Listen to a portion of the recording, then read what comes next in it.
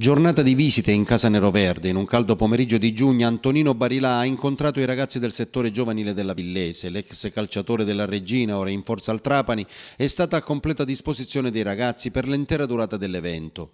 Paolo Messina lo ha intervistato per Costa Viola News per parlare del glorioso passato in maglia amaranto, del presente tra promozione sfumata prima e retrocessione poi con il Trapani e del futuro con novità di mercato e un possibile interesse verso la Villese.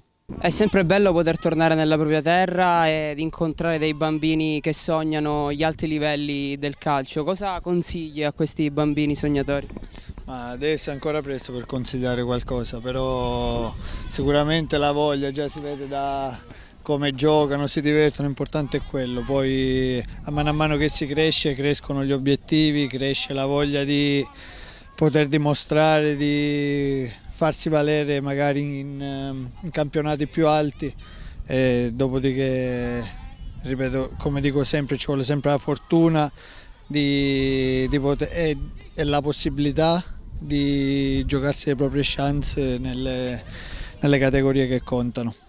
Quindi dico solo di divertirsi e di di coltivare un sogno che non è impossibile perché ad oggi eh, non è più impossibile come prima arrivare ad ambire la Serie A, è molto più facile però a differenza di qualche anno fa è più difficile mantenerlo, quindi per mantenere una, una professione, un, un lavoro ci vuole sempre l'umiltà, l'impegno, la dedizione, quindi c'è un mix di cose e soprattutto la fortuna, quindi dico solo ai ragazzi di divertirsi e di coltivare il loro sogno.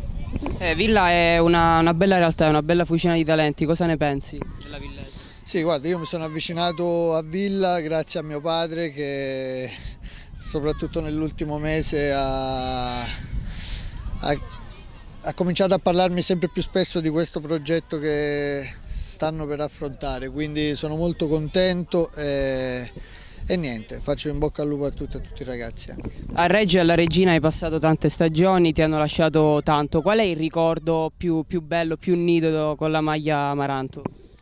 Ma, eh, I ricordi sono tanti perché le salvezze ce ne sono state tante, alcune belle, altre un po' meno, però la salvezza è sempre salvezza. E il ricordo più bello è il primo gol che ho fatto in Serie A Buffon, perché questo era scontato. Quindi e niente, Reggio spero che con questa nuova società e con, con l'apporto di nuovi soci magari possa tornare ad ambire a, a campionati più prestigiosi. Adesso il presente si parla di Trapani, no? nelle ultime stagioni tante gioie ma anche tanti dolori, l'anno scorso una, una, promozione in Serie A sfiorata solamente, mancata solamente all'ultimo in finale contro il Pescara, poi quest'anno la retrocessione, come te la spieghi questa metamorfosi?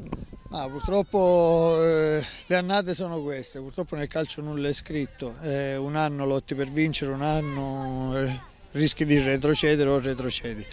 Purtroppo quest'anno è partita male, eh, ci sono state un po' di cose che magari sono andate diversamente dall'anno scorso, abbiamo cercato di raddrizzarla fino alla fine però non ci siamo riusciti. Vabbè, il calcio è pure questo, quindi ci sono vittorie, ci sono sconfitte, ah, l'accettiamo.